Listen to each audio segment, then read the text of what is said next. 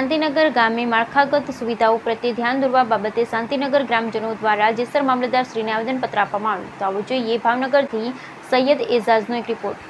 જેમાં જેસર તાલુકાના શાંતિનગર ગામે જે પાયાની સુવિધાઓનો અભાવ છે, જેમાં ખાસ કરીને વરસાદના કારણે સ્થાનિક રહીશોના ઘરમાં પાણી ઘૂસી જવા, બ્લોક પેવિંગ શેરીઓમાં રોડ રસ્તા, આરસીસી જેવી વગેરે પ્રકારની સુવિધાઓથી વિચરિત વિમુક્ત અને પછાત વર્ગના લોકો જે વંચિત છે તેવા તમામ પછાત વિસ્તારોમાં વહેલામાં વહેલી તકે જે પાયાની ઘટતી સુવિધાઓ છે, તે પૂરી કરી આપવામાં આવે તેવી માંગ સાથે શાંતિનગર ગામના સ્થાનિક રહીશો દ્વારા જેસર મામલતદારશ્રીને આવેદનપત્ર આપી રજૂઆત કરવામાં આવી હતી.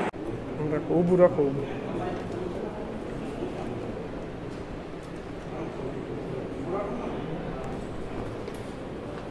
ઊભું નીચાણવાળા વિસ્તાર ઘરમાં પાણી ઘૂસી જાય છે. ઘણા બધા આમાંથી પ્રિય ઘર છે તો ખરેખર વિસ્તાર વાડી વિસ્તાર. ગણાય પાટડિયા સિરી ગણાય છે ટૂંકમાં પસાર વિસ્તાર ગણાય છે.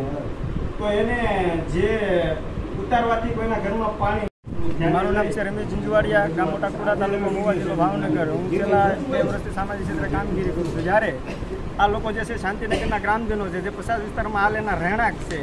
એનો જે રહેણાંક વિસ્તાર છે, એની અંદર હાલ પોઝિશન એવી છે કે સારો વરસાદ હોવાથી રસ્તામાં પાણી ભરાય છે. જેને કારણે ડેન્ગ્યુ જેવા મચ્છરજન્ય રોગ થાય છે. તો જે પોઝિશનને અમારે વહેલી તકે સોલ્યુશન આવે એ બાબતે જેસર મામલતદારને હાલ અમે આવેદનપત્ર આપ્યું છે કે વહેલી તકે આ લોકોને ન્યાય મળે એ બાબતે અત્યારે આવેદન આપ્યું છે.